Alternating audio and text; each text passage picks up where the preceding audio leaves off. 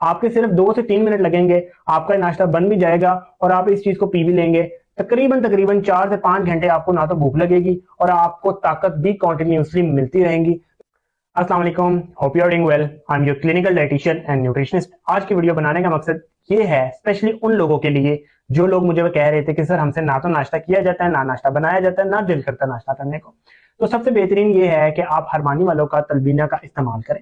Basically ये हजूर वसल्लम की सुन्नत भी है, आपके लिए एक सेहतमंद नाश्ता भी है, आपकी गजा भी है, आपके लिए शिफा भी है। शिफा इसलिए इस लिहाज से कि ऑटोमेटिकली जब आप दवाइयाँ छोड़ेंगे और एक अच्छा नाश्ता करेंगे ऑटोमेटिकली आपके तमाम मसले मसाइल हल हो जाएँगे। अच्छा अब इसके फ़ायदे क्या हैं? फ़ायदे ये हैं कि इसमें आपके पास जो खजूरें हैं, बादाम है, काजू है, इसके अंदर आपके पास जो पिस्ता है शहद है इसमें आपके पास जो है ये तमाम वो चीज़ें हैं जो कि आपकी सेहत के लिए बहुत मुफीद है। अब वो कैसे मुफीद है?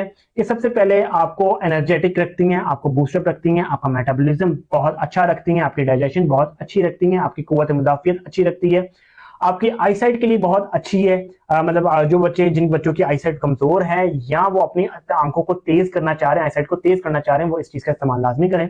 उसके बाद ये हाफजा तेज करने के लिए बहुत एक मुफीद चीज़ है, बहुत अच्छी चीज़ है।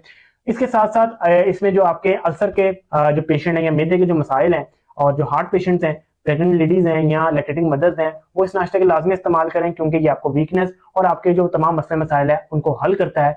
इसको ऑर्डर करने के लिए तरीका ये कार ये है कि मैंने डिस्क्रिप्शन में इनका अकाउंट मैंशन कर दिया है। इनको इनके पेज पर जाए और अपना आप ऑर्डर प्लेस कर सकते हैं। आ, मेरी तरफ़ से ये हाईली रिकमेंडेड है। आ, क्योंकि बेसिकली जब से मुझे इस चीज़ का पता चला है तब से मैं अपने नाश्ते के अंदर इस चीज़ का इंटेक लाजमी कर रहा हूँ। इसको बनाने का तरीका ये है कि सबसे पहले आपने एक गिलास दूध के अंदर तीन चम्मच मिला देने हैं। आपके सिर्फ़ दो से तीन मिनट लगेंगे आपका नाश्ता बन भी जाएगा और आप इस चीज़ को पी भी लेंगे।